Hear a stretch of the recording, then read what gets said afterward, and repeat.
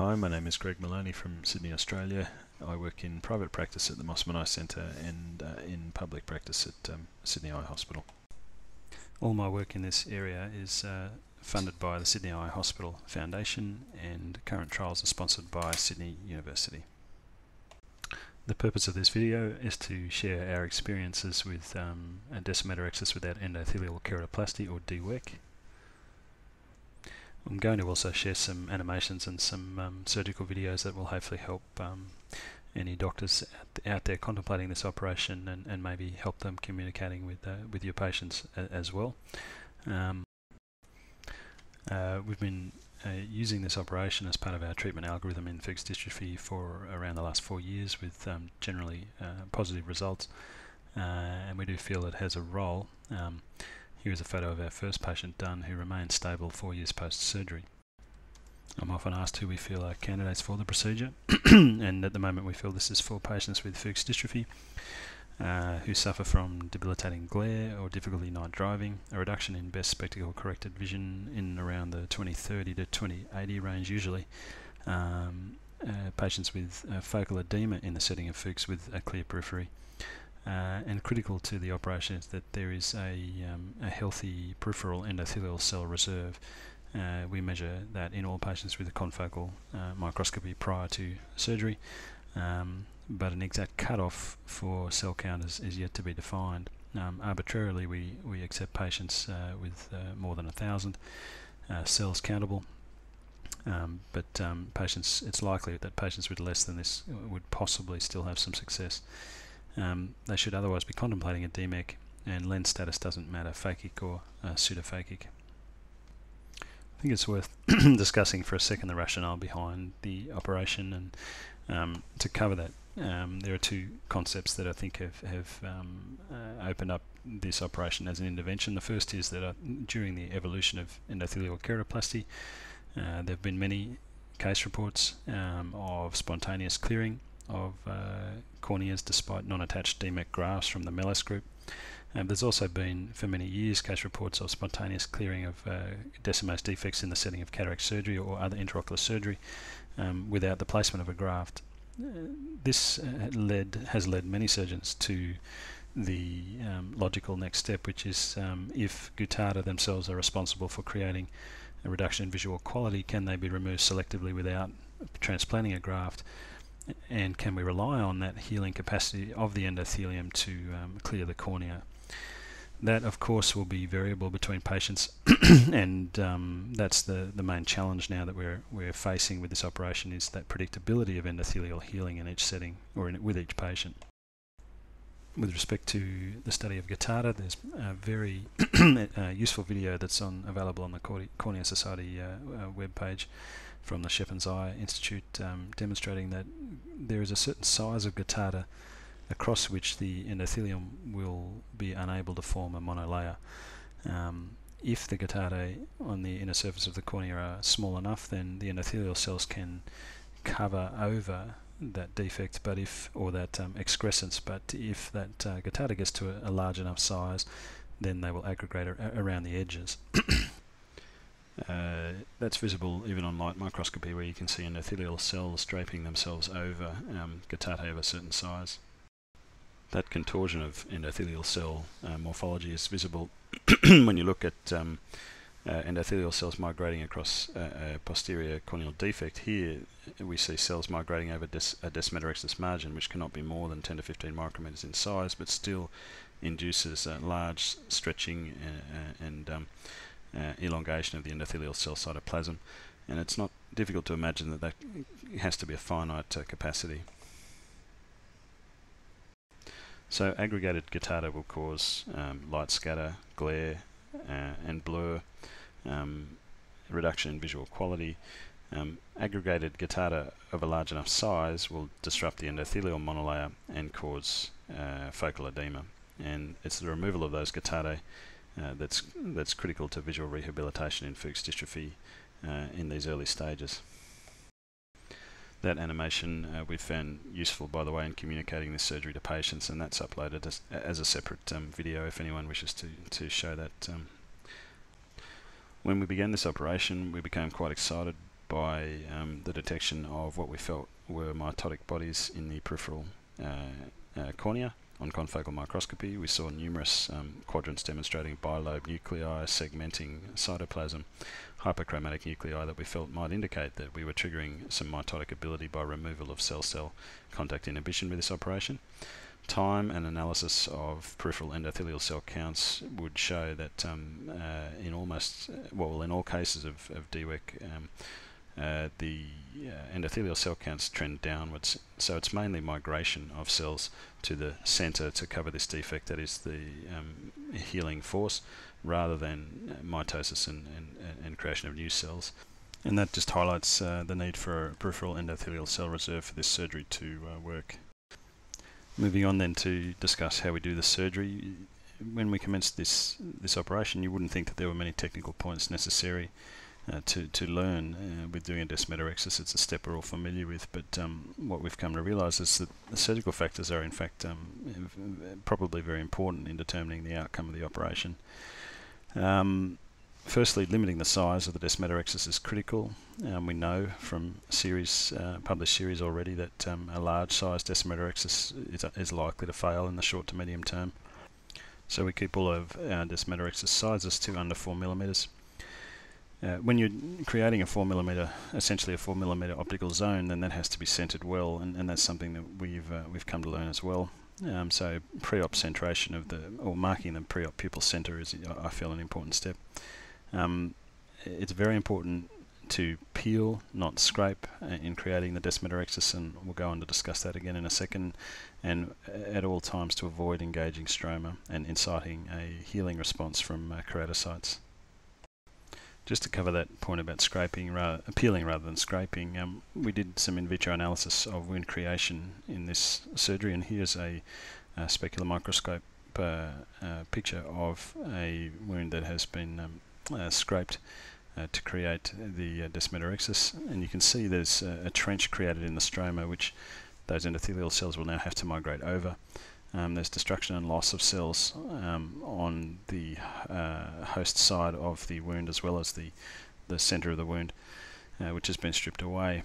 And if you compare that to a um, cornea that has had the uh, descemetorhexis peeled, um, you can see there's a clean cut with preservation of healthy cells right up into the uh, right up into the edge of the wound fairly early in the process, we realised there was a need for a pair of blunt grasping forceps, um, and we looked at designing our own. There is a pair available from uh, MST.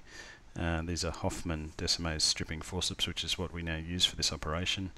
Um, Mike Straiko has a similar uh, pair of forceps with blunt round-tipped edges that he uses in uh, he creating his descemetorhexis, and I believe Mark Gorovoy is now also designing a um, set of forceps that custom made for this operation as well. So there are options for you to choose, but I think the main principle is um, have something that is uh, small, uh, blunt tipped, and can grasp uh, Descemet's membrane rather than relying on a reverse Sinskey hook. Moving on to show a video of a typical case now. Um, I do make an attempt to mark pupil center before uh, the patient comes into the theatre, and then the patient is dilated to allow a better red reflex for uh, viewing Descemet's membrane. Using calipers, we mark 3 to 4 millimeter um, area so we know we're not uh, overreaching.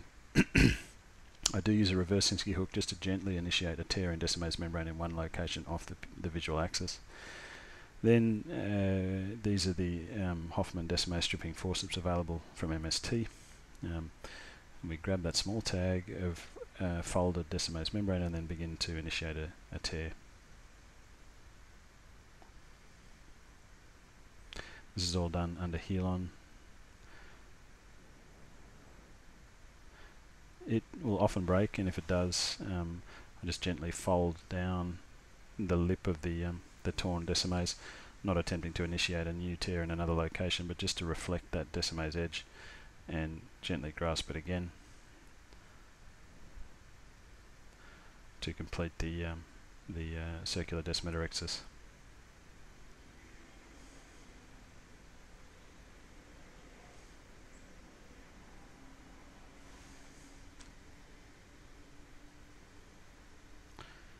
Goes without saying during the case that um, we're very careful to avoid engaging stroma in any way.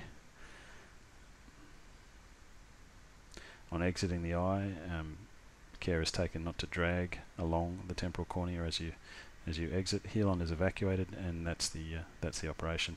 Typical surgery time is about uh, six minutes. And here's the post-op appearance at, of that patient at uh, at three months. Things that we're looking for when the when the cornea has cleared is that the um, the descemetorhexis is well centered over the pupil, and uh, there's no stromal scarring or nodule formation. So apart from delayed healing, what else could go wrong? We have seen some things. Uh, this is why we make an effort to centre the rexus now. Um, here's a, a, three millimeter area strip, but um, the area bisects the pupil, and this patient um, uh, achieves 20/25 vision, but not 20/20. And we wonder, had we stripped the whole visual axis, would that be different?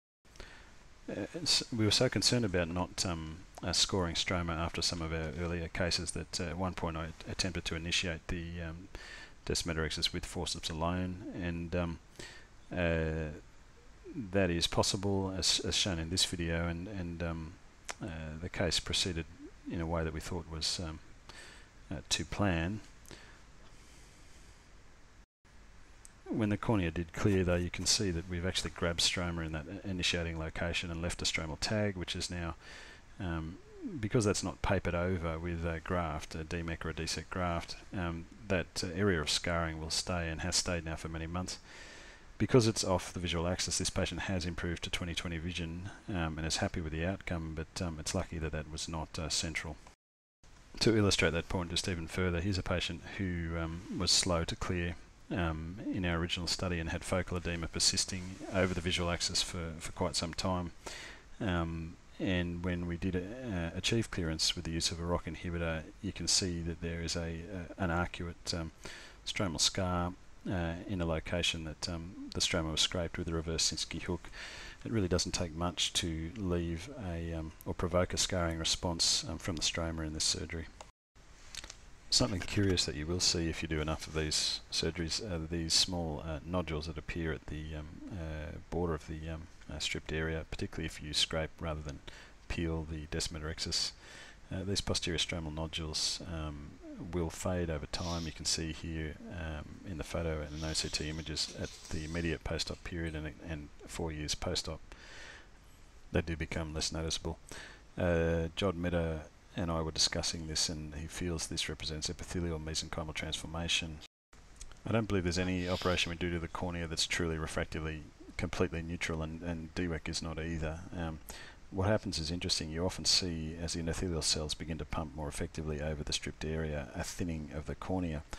Um, here you can see centrally uh, the topography or tomography pre-op um, and to the left post-op and on the right the difference map. There's a effectively you create a almost a, a thinned uh, myopic ablation zone um, and that's why I believe it's important to make this symmetrical and centered over the visual axis um, um, and we do see some small hyperopic shifts in these cases. Postoperatively, patients receive topical antibiotic uh, four times daily, and initially we continued that for a week, but um, we have to remember that in the presence of microcystic edema, which these patients will have for a period of time postoperatively, that's a break in their epithelium that's inviting infection. So we may continue that um, if there's considerable microcystic edema persisting for, for several weeks or months. Um, the uh, topical um, hypertonic saline we also use um, to limit that um, uh, edema in the postoperative course until they are clear. And topical steroid we don't feel needs to continue for a prolonged period. We, we leave that in place only for a week. Um, ROCK inhibitor is used in the setting of our current clinical trial. The main problem we have still with this operation is knowing which patients are going to respond quickly and which patients will respond but slowly and which patients won't respond at all to the to the operation. Um, Kathy Colby in her study coined the, the term fast, slow and non-responders, which I think is useful in the discussion uh, around this operation. That that variability means two things. It means that every time a new modification to this operation is proposed as an accelerant of healing, and that includes ROCK inhibitors, it will take a, larger, large series and um, detailed analysis to determine if that change is, or if that intervention is significant, or if we're just seeing a fast responder emerge from a cohort. Um, the second uh, problem that it creates is um, counselling a patient about what to expect after the surgery, and the challenge that we have to overcome is to um, select um, or identify uh, the best candidates for this surgery preoperatively. For, you would think that there are certain things that should emerge with time as we continue analysis, and they would, would probably be a younger age, uh, healthier or higher peripheral endothelial cell count, perhaps a, um, a, a, more favourable genotype with less TCF4 uh, trinucleotide repeat expansions. But um, at the moment, that, that, that uh, information is still uh, being sifted out. With regard to the use of ROCK inhibitors as an adjuvant to this surgery, uh, we have found this to either be an extremely effective intervention or sometimes not um, uh, seem to make a great deal of difference. And we do have a case now proceeding to DMEK uh, despite uh, the use of a ROCK inhibitor. Um, so studies into this are ongoing and we have much to learn. So what do I actually say to a patient when we're considering this, this surgical option? Uh, uh, the, the term I use is we'll be taking one step backwards to go two steps forwards. The vision is going to get worse for a period of time, hopefully weeks only, um, until it clears up and becomes better. Um, patience is required from the patients for a, a, visual result and the commitment to come back to you for, uh, for monitoring um, after the operation. The potential benefits are that the surgery is very fast, um, very little chance of inducing a, a cataract, uh, very little need for or for post-operative steroid, unlike obviously in the case of a transplant. Um, the unknowns are the expected duration of a, of a, visual result or a surgical result after this procedure. Um, that's going to be defined only with, with more time. I make the point that we haven't cured you of the genetic condition, we've just reset a degenerative process to an earlier, an earlier time, and a graft may be required in any case.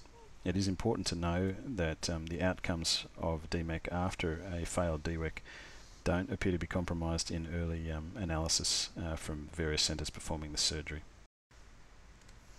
that's more than enough on, on DWEK. And so just to finally sign off, um, uh, I'd like to uh, uh, thank the uh, Sydney Hospital Foundation again for supporting this work and to invite anybody uh, interested in attending our Sydney DMEK course. It's run in January or February uh, every year at Sydney Eye Hospital and um, we'd love to see more people come and come and attend.